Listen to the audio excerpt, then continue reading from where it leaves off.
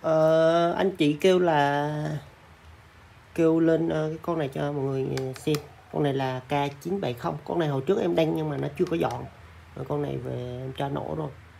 Lưỡi này thì nó mòn nhiều cắt lai rai được nó mòn nhiều. Lưỡi này mình xài lưỡi ba tấc rưỡi được nha.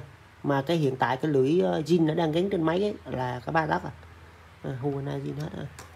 thì con này nó chả có được điểm gì ngoài cái việc cái ờ, cái cái, cái, cái ốp cái miếng ốp bảo vệ bên ngoài này thì nó có mẻ cho nên tí. Chỗ này thì uh, cô chú anh chị có thể mình cắt cái miếng nhôm á rồi mình áp vô thôi dán keo lại để cho nó chống uh, kiểu như là bụi bặm rồi nó vô thôi chứ không cũng có gì hết mọi người cái này nó có thể cắt nước được nha. Đây, đường ống nước đây. Đó, đường ống nước đây. Mình có thể cắt nước và cắt khô. Đây em cho nổ thôi.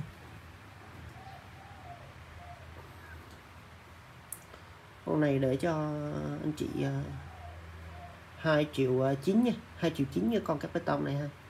Đó. này có thể xài lưỡi ba tấc rưỡi nha mấy bãi nha.